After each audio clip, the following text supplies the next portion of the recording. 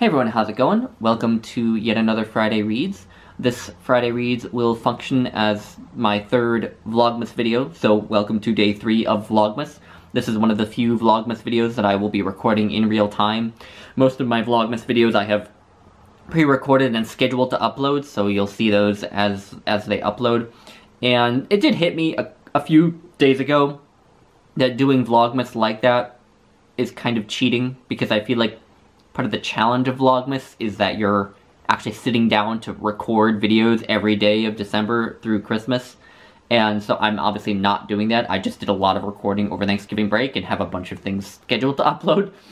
So whether or not I'm really participating in Vlogmas is up for debate, I suppose. But if I'm not really participating in Vlogmas, then I guess I'm just doing my own weird little Lukash thing where I post a video every day in December through December 25th. So there you go. But anyway, I will stop talking and get into the books.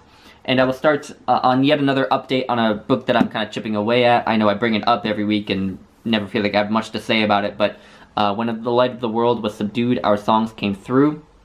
A Norton anthology of Native Nations poetry. Uh, I didn't make much progress on this this week. I would like to get to the halfway point of it. I'm almost at the halfway point, just barely and I would like to get there soon, maybe at least by the end of the year, if not this weekend. But the thing with poetry is I have to be in the mood to read a poem. I think it's really bad to force yourself to read a poem. I think that's the perfect way to just make sure that you don't like the poem you're reading. So for, forcing yourself to read poems is, I think, always a bad idea.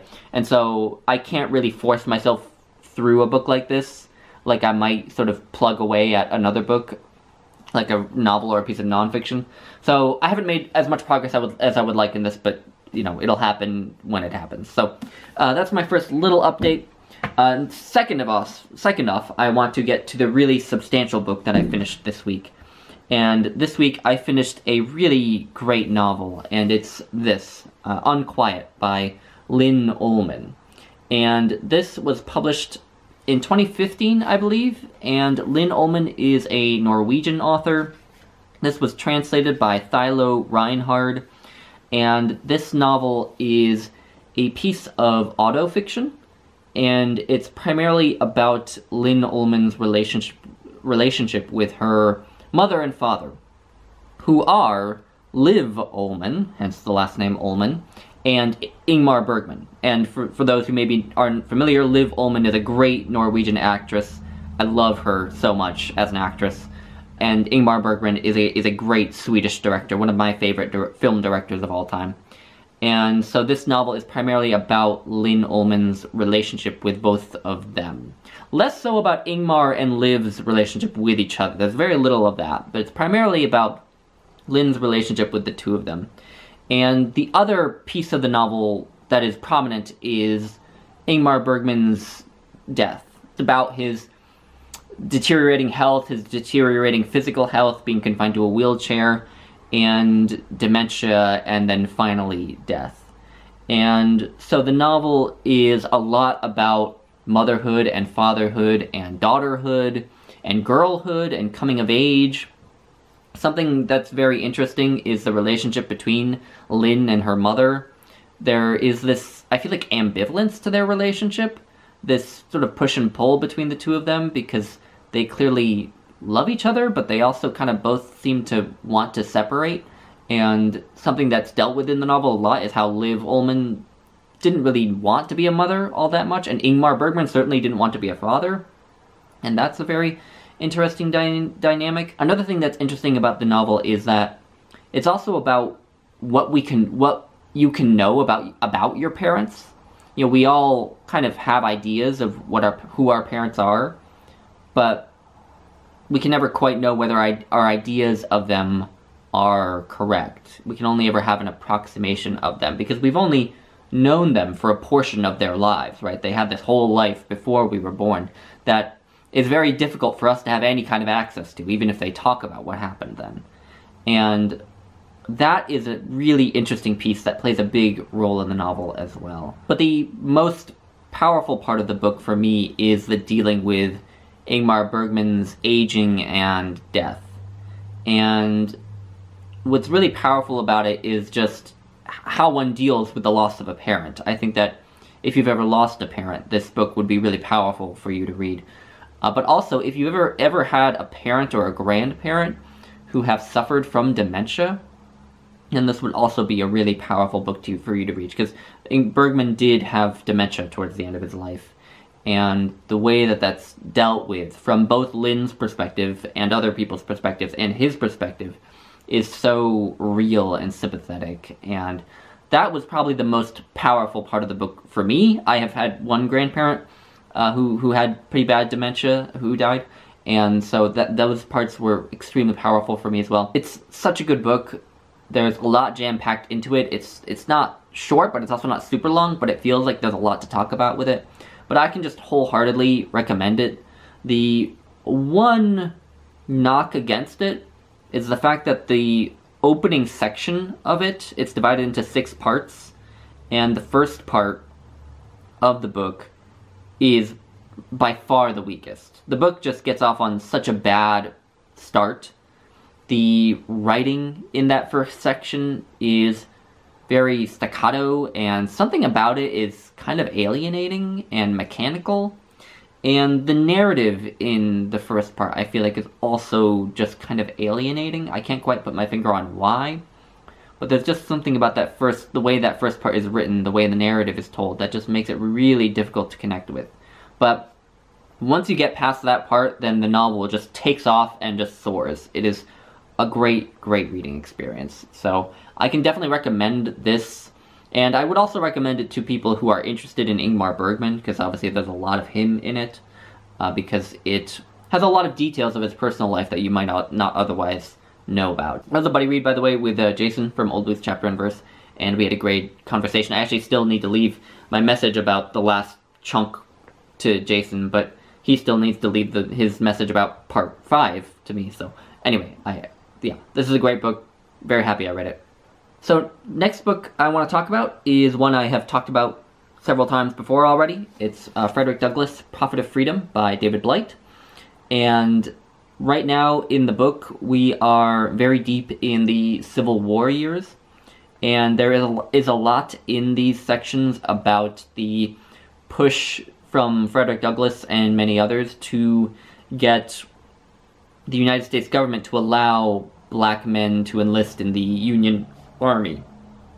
And then after they, the Union Army does finally start enlisting black men, there's a lot about the continued discrimination that they faced in the Army, right? They had reduced pay, they faced racism from white soldiers, white officers. They weren't allowed to be commissioned as officers themselves. And what I'm just really liking is how this book centers the experience of black Americans during the Civil War, which is not often done necessarily. You know, even when I was reading This Hallowed Ground by Bruce Catton, which is a great Civil War history, it did talk a lot about black people during the Civil War, but it always talked about them as kind of a collective, as this ambiguous, nebulous collective Whereas in this book, it really does do a lot to center the experiences of individuals. In particular, of course, Frederick Douglass, but also his two sons who enlisted in the army.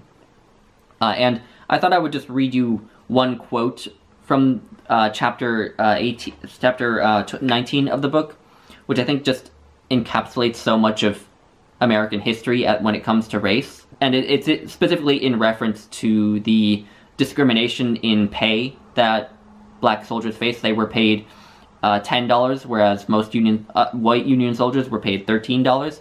And actually, they weren't even really paid $10 because the government deducted $3 to pay for, I believe, uh, clothing.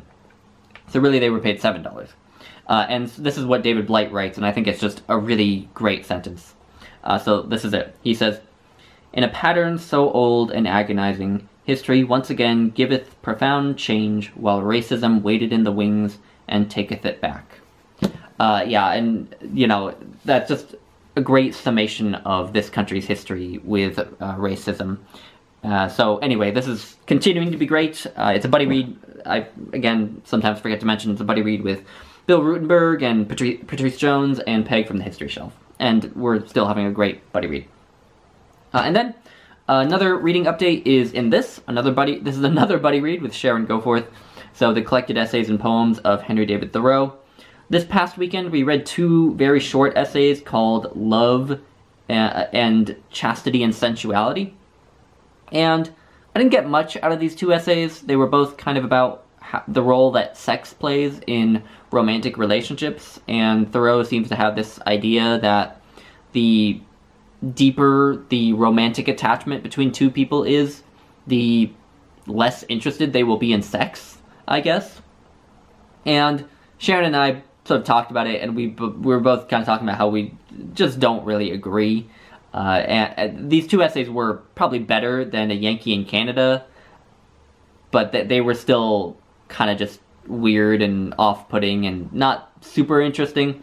Uh, I actually said to Sharon that I thought that there were parts of these essays that almost read like something someone would write while they were stoned. So there's that for you. So they were definitely better than a Yankee in Canada, but they were not super interesting. But the next essay that we're reading is Slavery in Massachusetts, and that should be fascinating. Uh, so I'm excited to get to that, and I'll be reading that this weekend. And finally, we come to the book that I'm going to finally get around to finishing, The Lord of the Rings by J.R.R. Tolkien.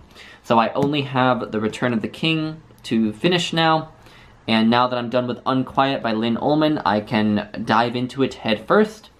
And I don't think I will have it finished by my next Friday reads. I may be very close to finishing it by next Friday, but I think probably I'll have to wait till the Friday after that to really wrap it up and, and finish it. But yeah, really excited to finally get to the end of this book. I've been reading it now for probably three months or something so it'll be fun to finally finish it. And I also plan to watch the movie once I finish the book. I've been watching each movie as I've been going along, so I'll finally be able to watch The Return of the King. So anyway, I will be working on that this weekend as well. Uh, but that is all that I have.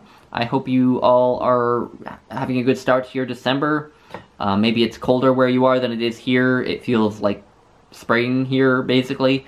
I was hoping that we might get snow. I'm hoping that when I go home to New York, maybe there would be a white Christmas. I don't know. I always hope for a white Christmas, and it seems to rarely happen these days with uh, climate change and everything. But let me know what the weather is like where you're living. Let me know what you're reading and how you're doing. And I will leave it at that. You all have a good weekend. And I guess you'll be seeing me tomorrow in my next Vlogmas video. So, talk to you later. Bye.